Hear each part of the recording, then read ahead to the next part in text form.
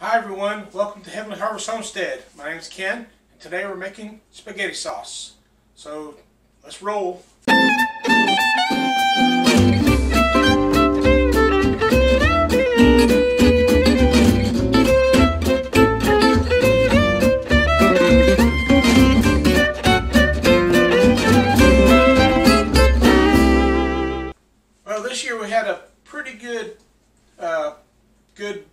Production this year, and I grew uh, about 40 pounds so far of Roma tomatoes. So I'm going to be processing today for my spaghetti sauce that I make, and I'm going to show you guys how I do it. So right now I've got the some tomatoes I had to put in the freezer. Um, got to get them thawed out so we can get them peeled and then we're going to uh, show you how to make the the sauce with the seasonings and whatnot. Um, I it's a family recipe that I've well I can't really say a family recipe because I'm the one who made it, but uh, I'm gonna I'll give you some tips on how to make a good tasting spaghetti sauce that doesn't taste too overpowering with acidy tomatoes. So let me uh, put you on. Let me show you where, where we're at on this uh, uh, tomato uh, melting process. All right. So what I've done so far is I've got my I got uh, bags of tomatoes into my water here. I just need to thaw them out a little bit so I can. Well, I actually need to thaw them out. And I took a tip from Jess, uh, Roots and Refuge, about cutting an X into the bottom of my tomatoes before I freeze them uh, to make it easier to peel. So um, this will be the first time I've done this as far as peeling tomatoes this way. Um, you know, I've hassled with peel on tomatoes before uh, using different techniques. So I'm still in the learning process, but hopefully this will uh, yield a much easier uh, peeling tomatoes. You see I've got uh, four more bags over here that I couldn't get into the water. Uh, so I'm just going to leave them right here until we can get these thawed. And then I'm going to move them to a bowl to uh, start processing. Now I do have a small food mill that I've used, I used last year, but I like a little bit of chunkiness in my tomato sauce. Um, I don't like it to be real runny, and that's the problem with the food mill is it makes it very thin. It's great for salsa, but not so much for uh, for spaghetti sauce because I like a little bit of a uh, chunky tomatoes in there to get a little bit of bite. So let me uh, get this stuff boiling and we'll be back with you in just a second. Alright, so while we're waiting for the tomatoes to do their thing, I figured it's a good time to go ahead and get the onions and the garlic prepared. Alright, I use uh, sweet Vidalia onions when I can get them. Um, but you can usually find sweet onions just about year round.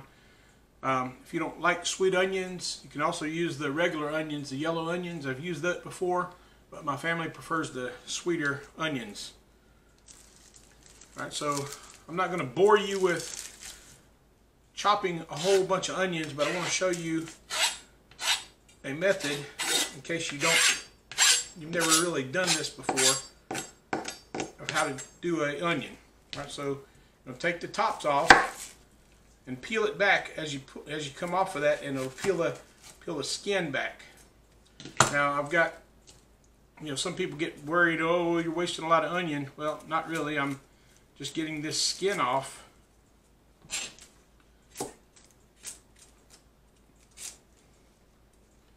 Alright so now I've got all the skin off. Now chop your onion in half and now take your onion and my hand's in the way. And we're going to not cut all the way through, we're just going to cut a little bit of each through it. So it holds itself together. Alright, like this. And then when you chop it, it makes it a whole lot easier to chop. And you're left with the stump. And then I'll usually go ahead and chop it up into its pieces as well. All right, and then I've got a bowl here. I'm just going to keep all my, I'm going to go ahead and put all the piece parts of the onion into my bowl here. Because I put my, some people do this differently, but I put my onions and my garlic in first. Um, some people do the garlic first, but I, I prefer to do both of them because they take about equal time. And if, if you put garlic in early and you don't pay attention to it, you'll lose your garlic. And there's nothing worse than burnt garlic because then it's ruined and then you got to start all over again. So I'm sure that nobody wants to just start all over again. And I think you notice I'm wearing gloves because onions, for me, it takes forever to get the smell off. So I don't know why it's, you know, some people can just do it and it uh, doesn't even bother them. But for some reason, onions like to stick to my the onion stank likes to stick to my hand and then it takes forever for me to get them off. So, you know, that's why I decided, that's why I wear gloves when I do this. Um, also, it's a lot more sanitary to work with food when you have gloves on. So, you know, this one's being curmudgeon. Let me uh, give it another little slice here. See if I can get this guy off of here.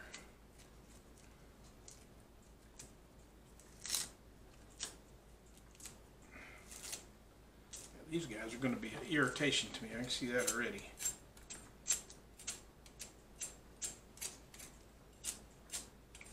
Alright, so in case you're wondering how many onions to use. Alright, so I'm planning on right now, um, let's see, I've got three, six, nine jars right now that are um, ready. So for nine, for usually a quart jar, I usually put one and a half onions per jar. Um, it sound, you know, that's not a lot of onions when you really think about it. It sounds like a lot, but the flavor of the onion is probably one of the most important parts of a good sauce. You know, second to uh, the garlicky, garlicky flavor. There we go. All right, go ahead and cut one more up for you here.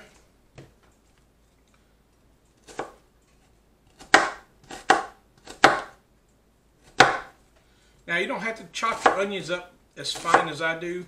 You can make them in more chunks if you like. I like it uh, pretty thinly tight because it tends to break down when I put it in with the garlic.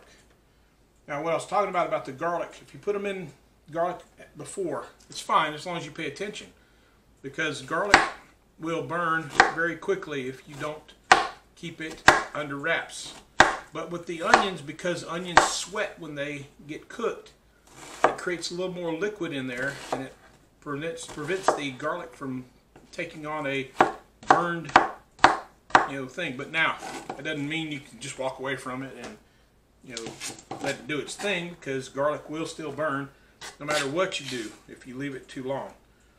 You know, I'm from Louisiana and it's one of the things uh, you know I, I talk about garlic but also when I talk about garlic, I talk about a roux. And that's the base for just about everything we make that involves a soup or a gumbo in Louisiana. And it's a fine art to make roux. Um, it's one of those uh, labors of love.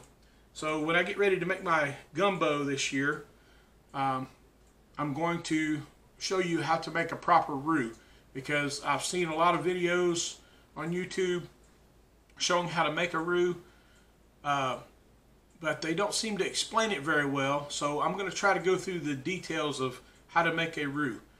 But at any rate, I'm going to go ahead and get the rest of these onions chopped up, and I'll catch you back in here in a minute.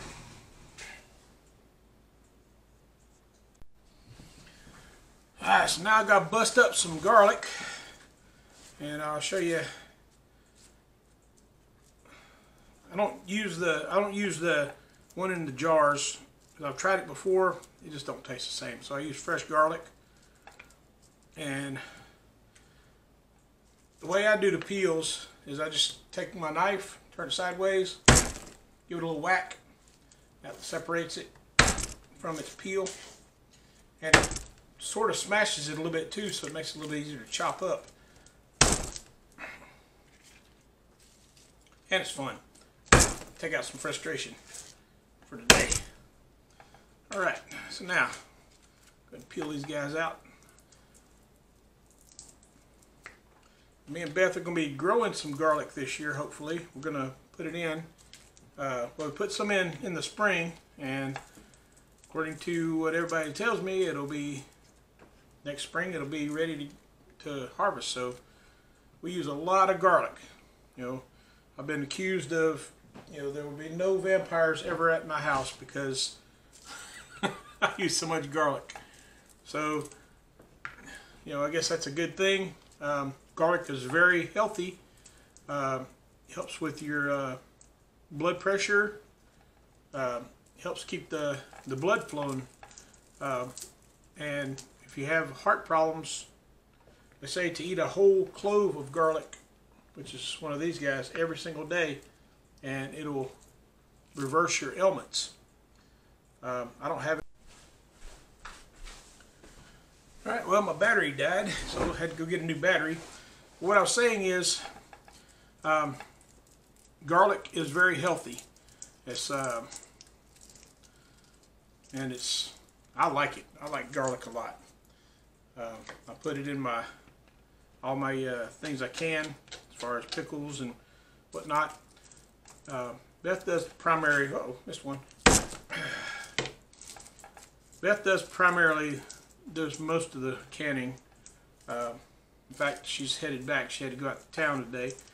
Uh, she just called me and told me she's headed back. So um, I'm probably going to let her do the jars um, for me because still a little bit of green on the jars. so um, I'm going to watch her real carefully this time. So in case she's uh, ever out and I got to do some garlic or do excuse me do some canning. Uh, won't be won't have to wait for her to get back. All right, so I got me a little pile of garlic. Now, what I like to do is get these other little holes out of the way because these things don't break down. The garlic will break down, but the holes, not so much. And I'm not really a big fan of the uh, garlic holes. It just kind of turns me off when I bite into one. So, clean my knife off here. Let me go run this sink right quick. Wipe, rinse this knife off.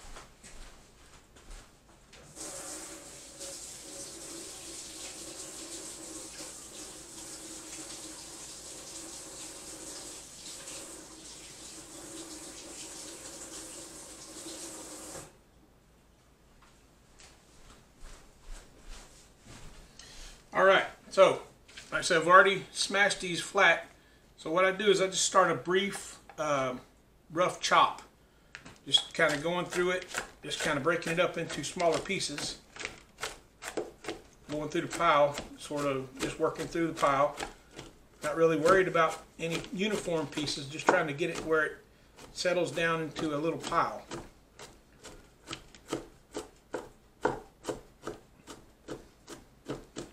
Alright, so now I got me a little pile going. Now, I'm just going to rock my knife back and forth through this.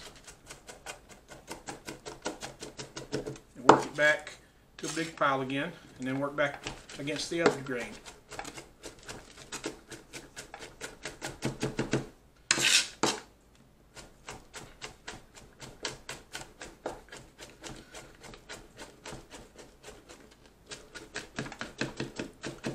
Do it this way. Um, one thing is it's a whole lot faster than trying to do one at a time, trying to break it down into little pieces. Oh, there's one of them guys trying to jump over here and join us for the... Alright, so now I just scoop it up on my knife blade and put it in my bowl. You know, pretty easy. Back and collect what you got left. Scoop it up on the knife blade, use it as a little shovel and put it in the bowl. All right, and you can't see my bowl. I see, I noticed that, but it's in there. I'll show you in just a second. That all the onions and all the garlic are in there. And I did the tomatoes off off screen because uh, I had a little bit of a conundrum with the water uh, boiling, so had to um, do some uh, magic to get that done properly. And but I will, I do want to report that cutting the bottom of the tomatoes is a great way to get the, the tomatoes to process. All right, let me pan over here to my bowl and I'll show you what I'm talking. My bowl of onions and stuff. So here's my bowl of, bowl of onions and garlic. All right, now we're going to take this over to the stove, and I'm to go ahead and, ooh, it smells good. I'm to go ahead and get get started cooking it up. Okay, now I got you over here back to the stove. This is the pot I'm gonna, I'm just gonna saute the onions and the garlic in this pot. So what I start with is a little bit of olive oil. And it doesn't matter whether you have regular olive oil, light oil. Um, we use both. Um, I prefer when I'm doing pastries and things like that to use the extra light. But for this particular purpose, I use about two tablespoons of of olive oil. You don't need a whole lot because, like I said, the tomato, the, the onions are going to sweat and give you plenty of uh, liquid to cook in. And while this is heating up, I'll show you what we got for tomatoes. This pot, a pot of tomatoes here. So process pretty good. Uh, you know, there's a few seeds in here, and that's one of the things with the food mill. It'll take the seeds out too because uh, we didn't just do paste tomatoes this time. I actually did uh, cherry tomatoes and a couple of my um, slicer tomatoes that were going out and uh, getting them ready. Right, so I put my stove, my, my eye to about a six right now just to heat the oil up.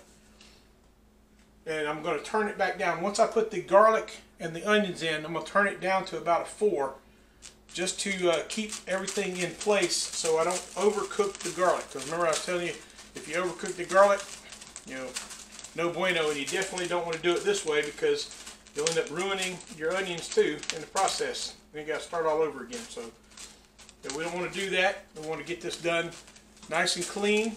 And I've been doing this for several years now, so I never have made a mistake with this.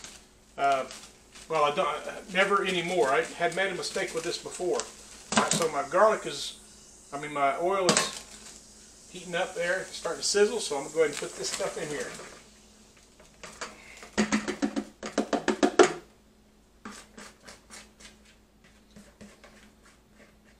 so much for putting gloves on to keep the, the onion stink off of my hand. Now I'm sticking my hand into the onion bowl to scrape the onions out. Alright, so we're going to let that simmer for just a few minutes and then I'm going to turn the heat down. Get me a spoon here.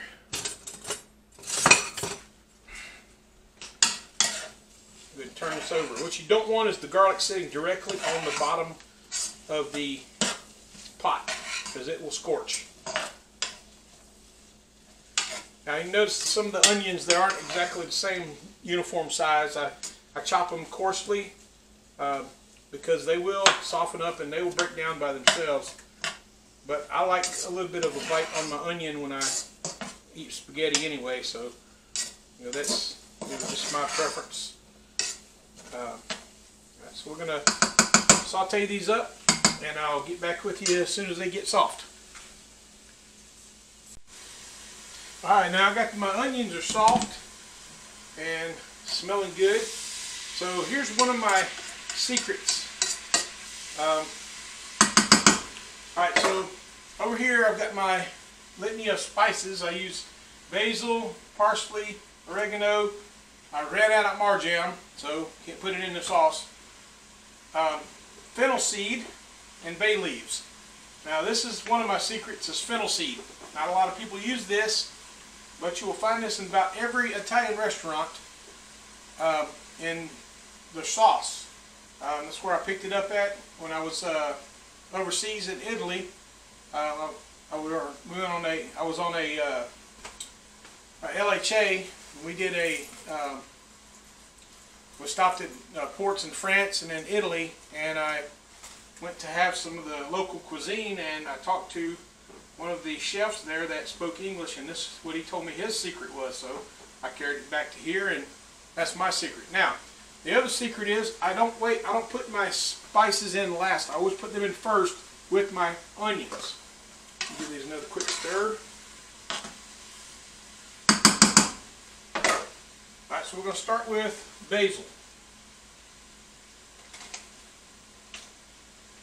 Alright, and I use the old measuring spoon that God gave us in your hand. Alright, so the if you fill it the pit of your hand up, that's a tablespoon. The smaller your hand is a teaspoon. Alright, and it's rough measurements, I know, but I don't do any exact measurements because we always cook to taste. Alright. roughly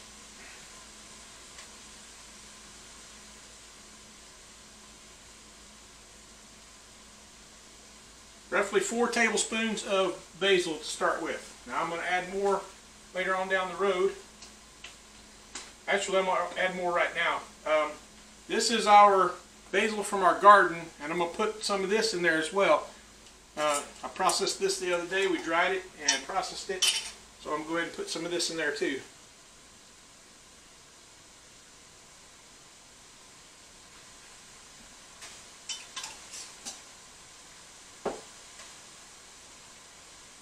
Alright, parsley.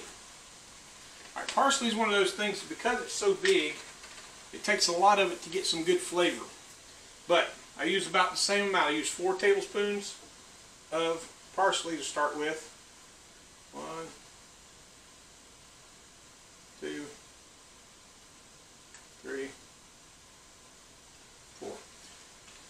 Now, one of the, what's this called? This is called the aromatics. And if you know what aromatics are, you'll know why, because it makes the you know kitchen smell awesome. Alright, oregano. I don't do a whole lot of oregano from the beginning. Only put two tablespoons of oregano into this. Now, these measurements are specifically for this recipe to make nine quarts of sauce. So, depending on what you're doing, um, how much you're doing, then you need to temper it. Right, and I'm going to add only a teaspoon of fennel seed because a little bit does a, goes a long way. Um, actually, I'm going to add two teaspoons.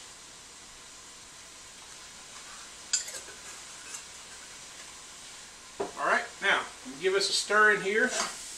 Get this all mixed up. Get all this working together. Whew.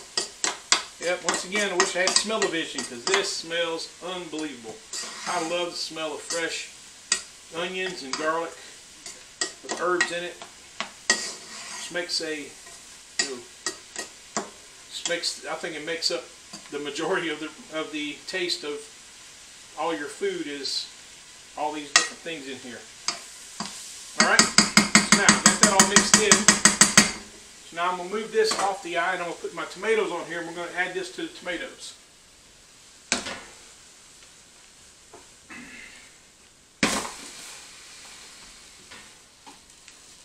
Alright, so this is what it looks like.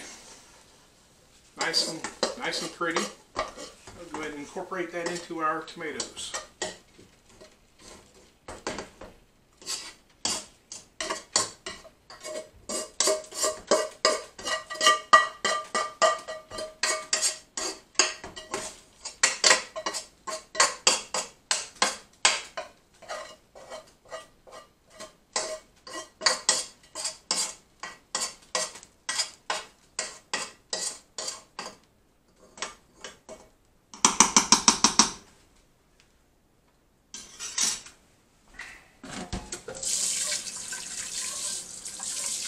a bit of a rinse, get it settled over here in the sink.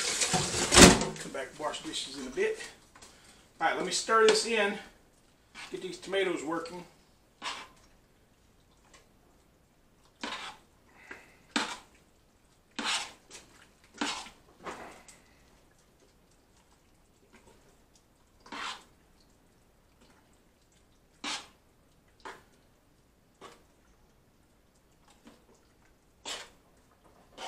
well incorporated. Don't leave the onions are sitting on the top. Get them all stirred down into your tomatoes. And where you see a, a good mixture. So when you pull it up, you get tomatoes and onions all at the same time. Right now, I need to add some salt. So I use kosher salt for this particular one because it adds, uh, you don't have to put quite as much. You don't have to sit here and shake, shake, shake. So what I do is, for this particular, for my regular sauce, when I make it for the family, I use three pinches. So that's about a quart. So here I'm doing nine quarts, so I'm going to do 18 pinches. Sounds like a lot, but you know, the salt goes a you know gets sucked up by these tomatoes, right? stir these in. Turn my heat up. Put my lid on. Get these up to a boil, well, or to a simmer. They start bubbling, and then start stirring them in. Got some whole tomatoes still in here. Did like I said, I did that on purpose to get me a very chunky sauce. These will, as they cook down, they'll break down a little bit more, but it does add some chunks to your sauce and makes the sauce, I think, sticks to the noodles a little bit better. All right, so let me get this all simmered up, and I'll get you to the next spot where we add the. Actually, let me do this. I need to go ahead and add the bay leaves. Now, bay leaves are a taste thing. Some people don't use them. I like to use it because it adds that extra little bit of zest and a little bit of my heritage from Louisiana back into the back in the mix because we use bay leaves nearly for everything. All right, so bay leaves, I'm going to put for the beginning uh, about 10 bay leaves in here.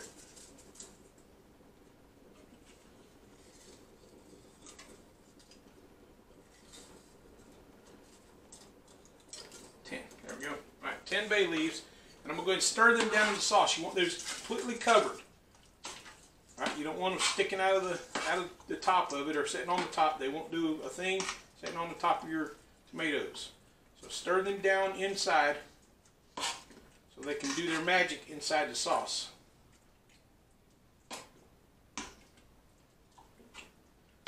All right. Let me get that doing its thing and I'll get back to you.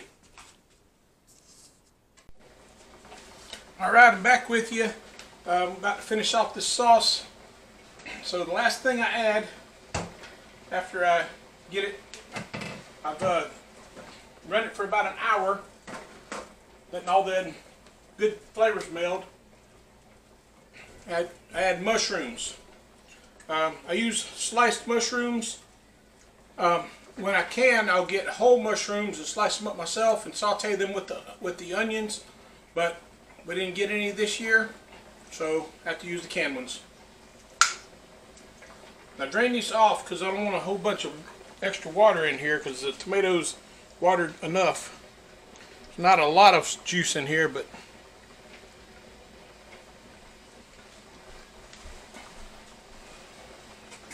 and for a batch this size, two of these big jars. This is a um, six ounce jar, so about 12 ounces of mushrooms will be just fine. Um, our family doesn't like them so much. Uh, it's you know, I mean, they like them, but it's not like a they love mushrooms. So I don't put a whole lot in there, just enough to kind of get a taste every now and again.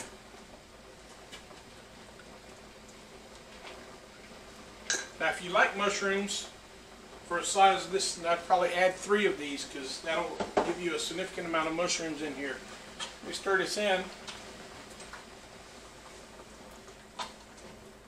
And because these mushrooms are already cooked, I don't need to run them for more than maybe 20 minutes just to let them meld into all this, everything as well. Because once we put it in a jar, we're going to have plenty of time to become good friends. So, just wanted to show you that last step. That's one of my last things I do before I uh, close up uh, and get ready to can it up. But let me uh, take a taste test here and see, make sure I don't need to add anything else.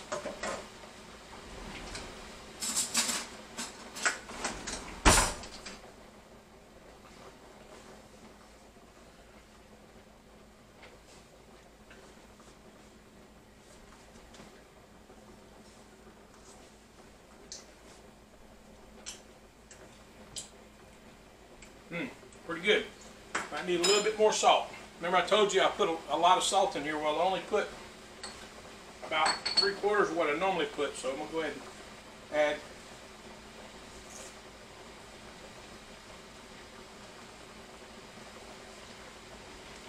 the last seven. Now for a normal batch, just for one quart or just a normal batch, you only put three pinches in there.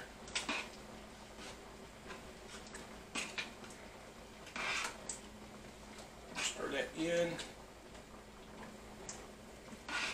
But the flavor is amazing.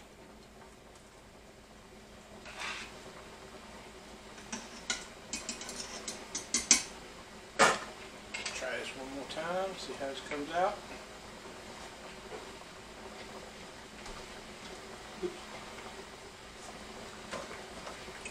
Perfect. Yeah, that did trick.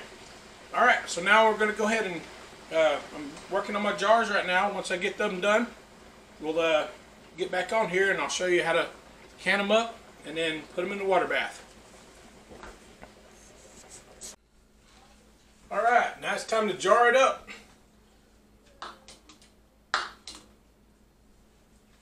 Get my lids.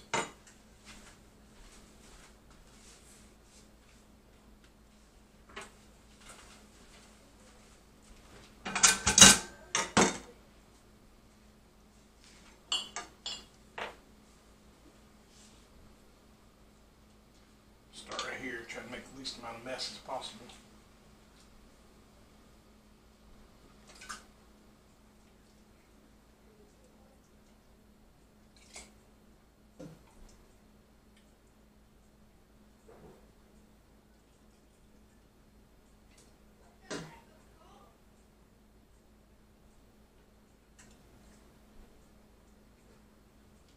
You want to leave about half an inch of headspace on this sauce. Give enough time to expand because it will it will still expand even though it's really really done. Oh. Take a little bit out of that one. Cup runneth over.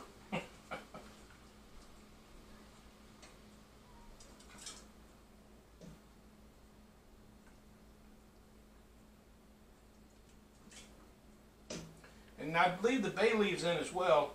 Um, you can take them out if you want, but it's just, you know, we have a little thing with our family that whoever gets the bay leaf in their sauce does the dishes. So, you know, it's one of the things we, I leave them in there just for, you know, it's kind of a little game. It's kind of nice. You know, I don't know, you might think it's kind of cruel, but, you know, it's all really depending on who's doing the serving. More likely than not. And my grandson just come in looking for his brother, so apologize if they disturbed you. They're out there playing. So nice having them around. They uh, definitely make it exciting. You know, because all of our all our children are grown. We have uh, four grandsons. Uh, that's one of the twins. He's looking for his twin brother. Apparently he's in there watching TV. He's supposed to be out there playing cops and robbers or something with him. So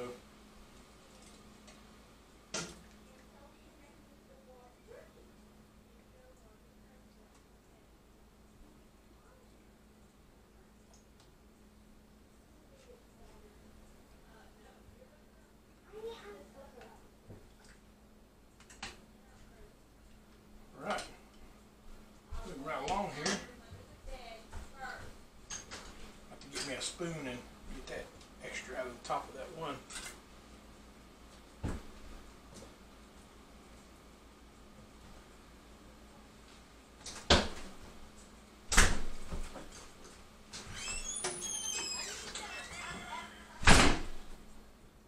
And there goes This is going to go take out our turkeys. And last night we uh, lost one of, another one of our female turkeys, so you know it's, uh, it's I was reading on a post today or on the website that you know turkeys are really hard to grow. So you know just uh, you know, had to uh, put it away and All right, so that's basically how you do it. Just, uh, just keep dishing it in, filling the jars up. You know, nothing really exciting. You know, for you that you guys that already know how to can, I guess is probably pretty boring to you. But some of the people out here don't know how to can. You know, including myself, I'm still in the learning stages. So if I if I'm doing something wrong, you know, please put in the comments down there what you know any suggestions or anything that you want to suggest. Because I by far am no expert at this.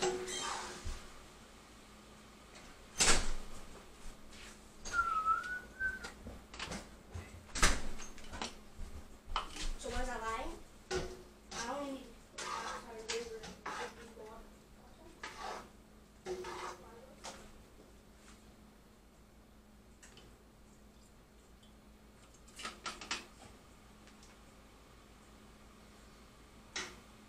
All right, well, I'm gonna go ahead and put this on pause for a minute, and then I'll uh, get back to you as soon as we get done uh, filling the jars. Show you how to do the can the water bath. All right, I got the jars in there. I need to put some more water in there so it covers up the whole entire top.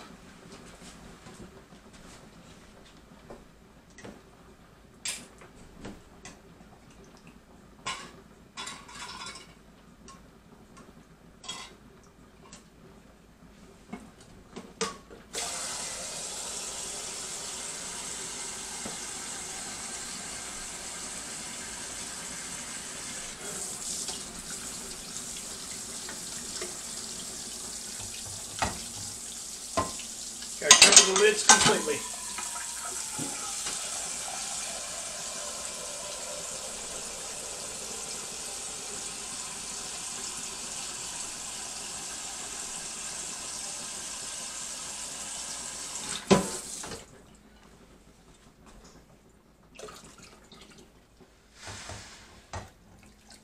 Just like that.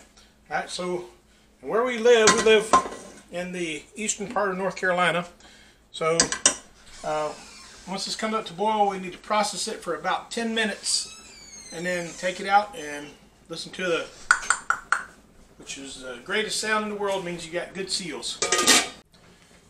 All right, we got it boiling, so I'm gonna go ahead and put the lid on. Like I said, we're gonna process this for 10 minutes. Set my timer. I'm gonna take it out and just set it on a on a towel and let it rock.